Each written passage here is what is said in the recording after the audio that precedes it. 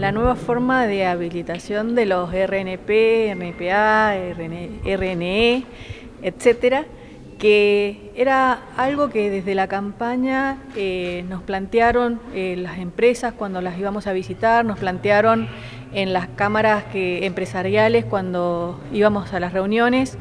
Eh, y era un déficit que tenía el, gobierno provincial en cuanto a lo burocrático que era hacer cualquiera de esos trámites. Hoy va a depender del, del Ministerio de Producción una parte de, ese, trámite.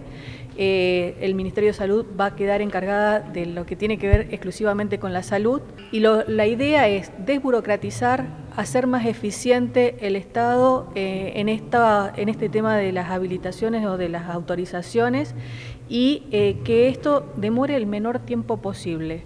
Eh, estamos pensando en aproximadamente 15 días, es el objetivo que nos hemos puesto, obviamente que hasta que se aceite el el trámite quizás lleve un poquito más. Cada producto nuevo que se habilita significa una línea de producción nueva, significa trabajo genuino que se, que se genera, sabemos que es riqueza que se genera para la provincia, entonces no podemos seguir desde el Estado entorpeciendo la producción. Un trámite podía llevar eh, hasta dos años, tres años, hasta que salía. Era una barbaridad cuando sabemos que hoy los tiempos apuran, apresuran. Eh, nosotros encontramos ahora, por ejemplo, algo de 4.700 expedientes sin mirar, ni siquiera.